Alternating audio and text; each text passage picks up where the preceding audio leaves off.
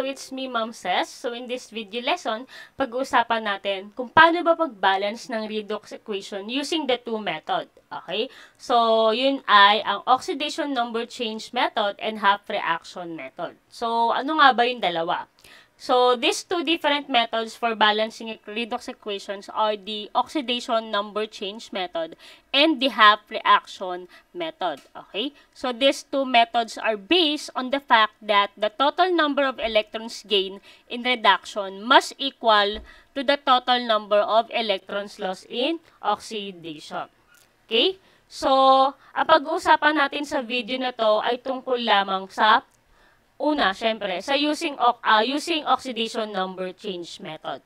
Okay? So, para hindi tayo malito. Isa-isa lang tayo. Okay? So, in the oxidation number change method, um, you are balancing the redox reaction by just comparing the increases and okay, increases and decreases in the oxidation numbers. Okay? From the word itself, oxidation number changes. Okay? So, to use this method, uh, you will, syempre, you will start with the skeleton equation for the redox reaction. So, this given um, skeleton equation is unbalanced. Okay? So, we need to balance it using the oxidation number change method. Okay? So, the first step is you're going to assign oxidation numbers to all the atoms in the equation. So, you just simply write the numbers above the atoms, um, that's the oxidation number which is stated per atom okay? So previous video i have i already discussed on how to um, assign di ba oxidation numbers. So the given here we have positive 3 negative 2 positive 2 negative 2 0 positive 4 and negative 2 take note that in redox reaction we can say that the the given equation is redox equation or reaction if there's a change in their oxidation number. Okay? So, this, for this, we can say that um, there's a change, no, in their redox, uh, in their oxidation number. Kasi, as you can see here, from positive 3, sa product side, it became 0. Tama? Tapos, from positive 2, naging positive 4. Okay? After assigning the oxidation number, step number two is you're going to identify which atoms are oxidized and which are reduced. Take note that um, oxidation is the loss of electrons. So, there is an increase in the oxidation number. So, kapag reduction naman, um, there's a gain in gain of electron and decrease in oxidation number. So, which atoms here are oxidized and which are reduced. Okay? So, pag sinabi natin oxidation, ulitin ko lang, oxidation is the loss of electrons. So, meron siyang increase in oxidation number. Okay? So, kapag reduction naman, reduction is the gain of electrons. So, meron siyang decrease in oxidation number. So here, um, sino yung na-oxidize, sino yung na-reduce. Okay? So, I, ano natin? Analyze natin.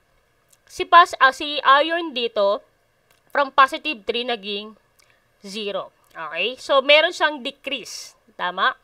May decrease siya sa um, oxidation number. Therefore, this is your reduce. Okay? So, iron is reduced. Tama? Next, Si oxygen, para sila, negative 2, negative 2, negative 2. Okay?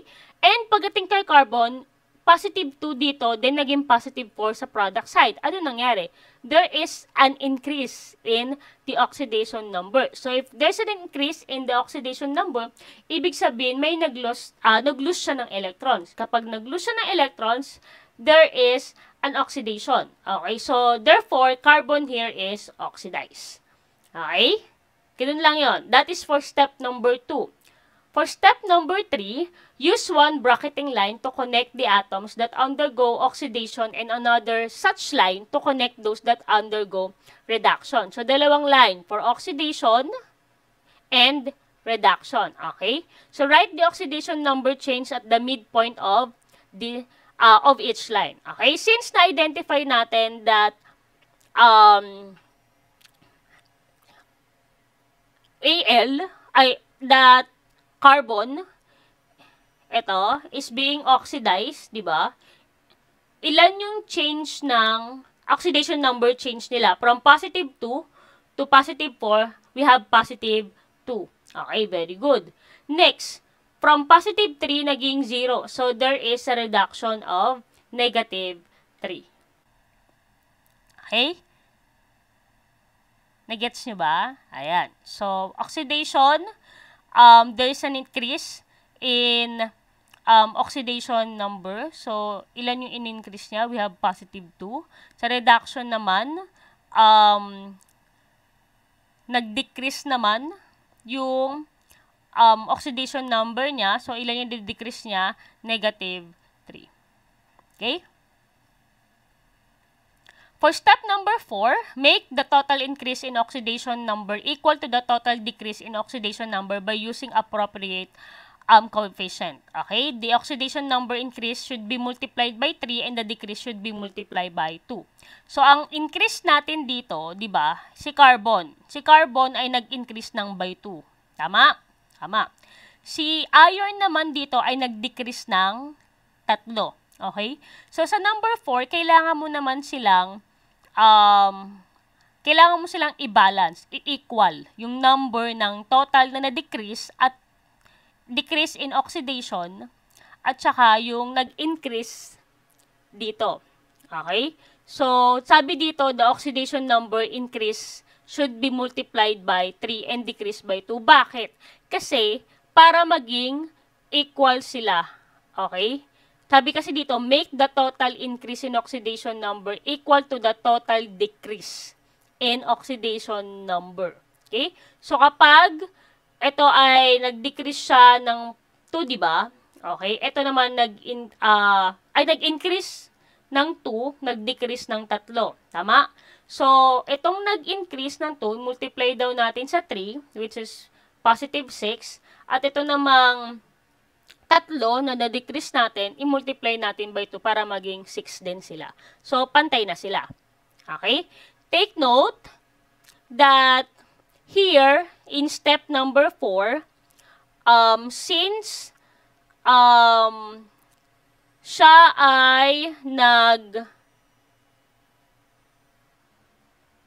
ito nag-lose siya, 'di ba? Nag-lose siya ng kung ilan yung nilagay mo dito na minultiply mo, ayan, siya yung magiging coefficient niya.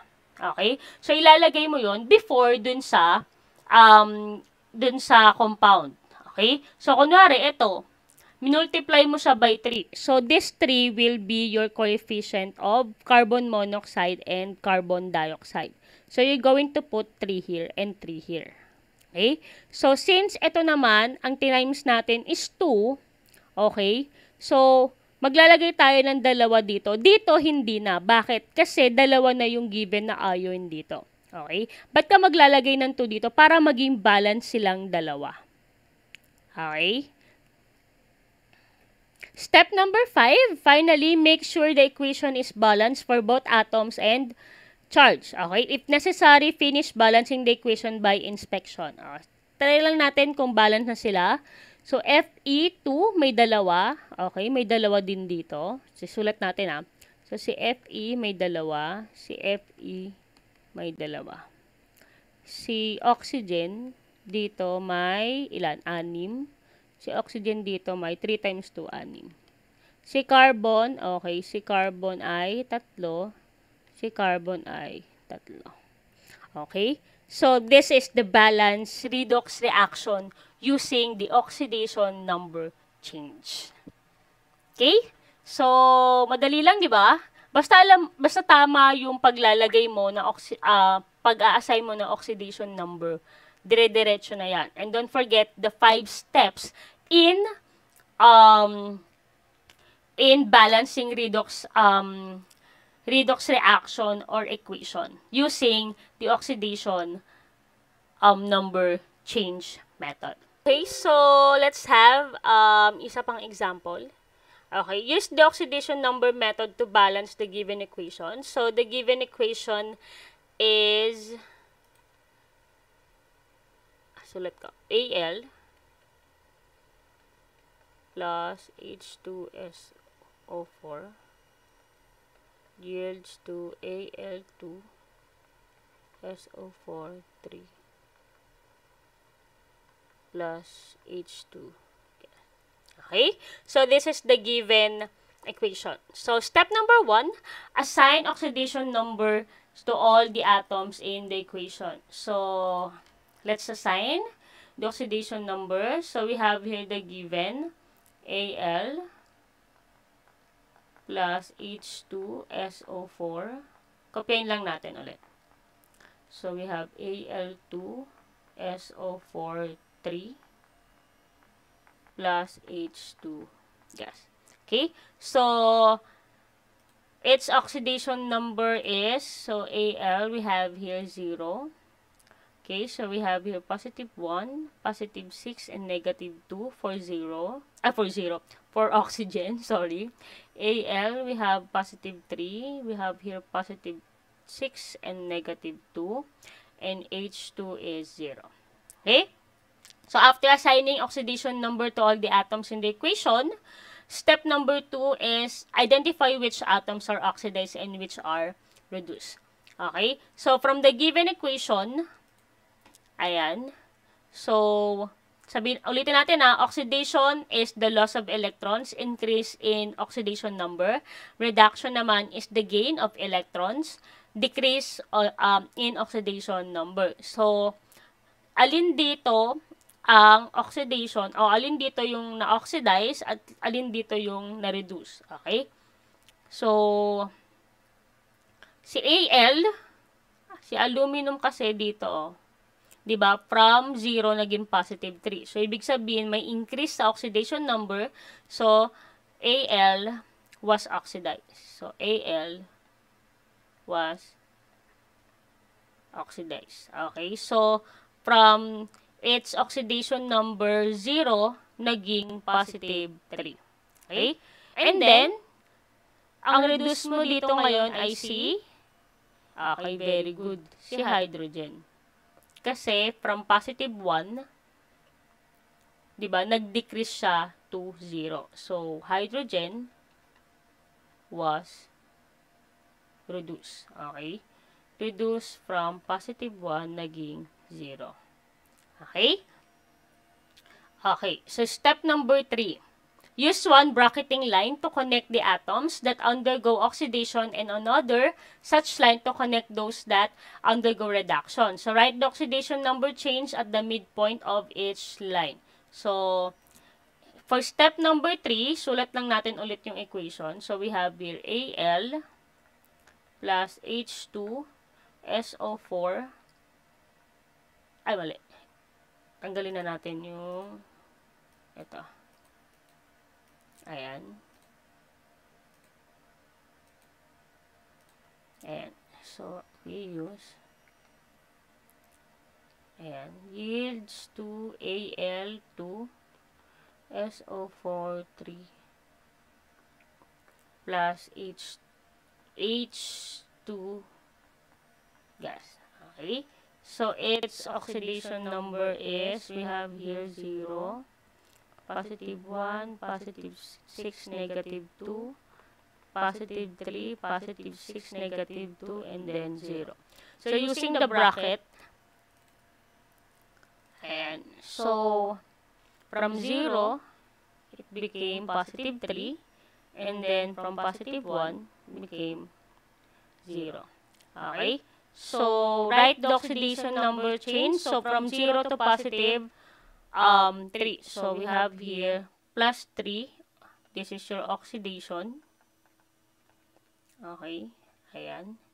Wherein there were um, 3 electrons lost from aluminum. Okay. And this is reduction. Nabawasan siya ng isa. Okay. So, 1 electrons was gained by hydrogen. Okay? Oh, next. Make the total increase in oxidation number equal to the total decrease in oxidation number by using appropriate coefficient. So, the oxidation number increase should be multiplied by 1 and the decrease by 3. So, we have here the given, sulat ulit natin, AL S plus H2SO4 yields to Al2 3 plus H2 gas.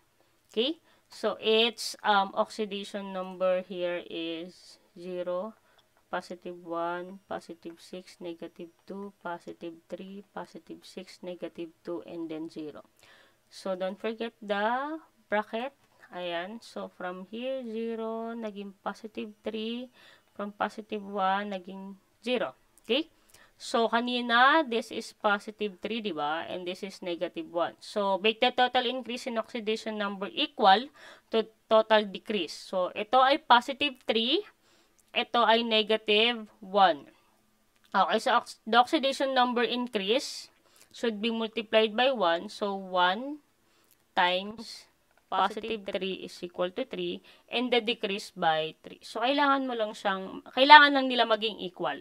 Okay? So, this is negative 3. So, equal na sila. Okay? So, A, uh, um, here, aluminum lost 3 electrons. So, the 1 electron gained by um, hydrogen should be multiplied by 3. And, um, it should be, or you're going to put the coefficient 3 before H2SO4 and um, H2. Okay? So, yan. Since 1 naman yan, 1 din yan. Tapos ito, 1 din. Okay? So, that is step number 4. For step number 5, finally, make sure the equation is balanced for both atoms and charge. If necessary, finish balancing the equation by inspection. ba diba? From, um, from step number 4, ayan, kopyahin lang natin to. Ayan, kopyahin lang natin yan. So, sulat natin sa step number 5. So, we have here ALS plus H2SO4 plus, I know, yields to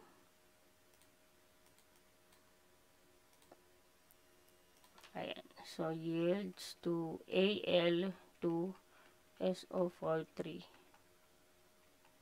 plus H2 gas. Okay? So,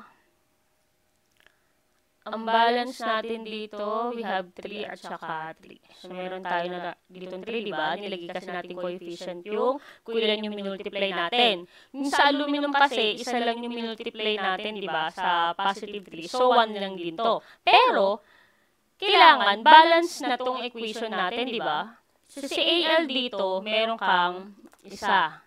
Di hydrogen, 3 times 2 may 6 ka. Ang SO4 natin, ilan? Tatlo din. So, SO, i-ano ko ng polyatomic para mabilis.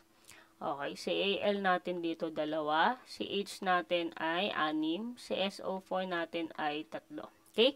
So, balance mo sila lahat? Hindi. Hindi balance si aluminum. Okay? So, since ito ay dalawa, ito lang ay isa, so maglalagay ka lang ng 2 dito para maging balance sila. Tama? Okay, so this will be your balance redox reaction using oxidation number change method. Dali lang, di ba? Okay, thank you for listening. I hope may natutunan kayo. God bless us all.